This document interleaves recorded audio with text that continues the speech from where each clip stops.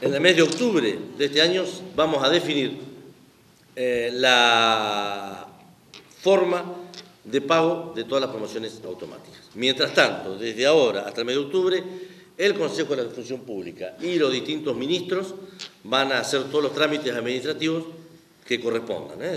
Los expedientes tienen que avanzar en los distintos ministerios, hay que efectuar todo lo que son los reconocimientos, los trámites que lleva cada una de estas promociones, y en el mes de octubre vamos a definir este, la forma eh, y el modo de instrumentación de las promociones automáticas.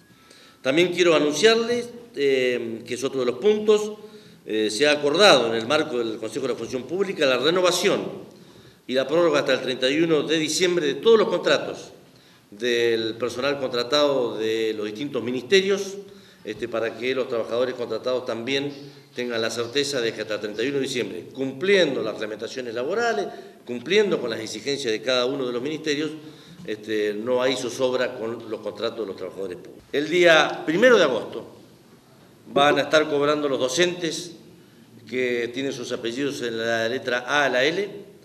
El día jueves 2 de agosto estarán cobrando los docentes que van de la letra M a la Z, más las escuelas públicas y las, las escuelas de gestión privadas.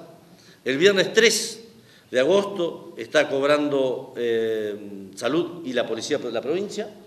El sábado 4 está pagando, estamos, está cobrando toda la ley 1844, toda la ley 1904, más los porteros y más las pensiones de los bomberos voluntarios.